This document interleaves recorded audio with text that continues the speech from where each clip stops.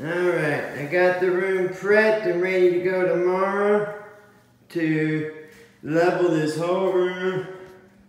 I mean, not level, flatten this whole room out even. It's different between level and flat. We only need to be flat for the tile or hardwood floor. And I have enough confidence to get it done tomorrow. So I'm gonna start it. I got all my prep done. I'm ready to get going first thing in the morning. Uh, I talked to enough people that I have enough confidence that I think we're gonna be just fine. So that's what we got. You figure out wooden floor, tile, carpet, whatever you want in this whole room. Maybe you're ready to go. You decide.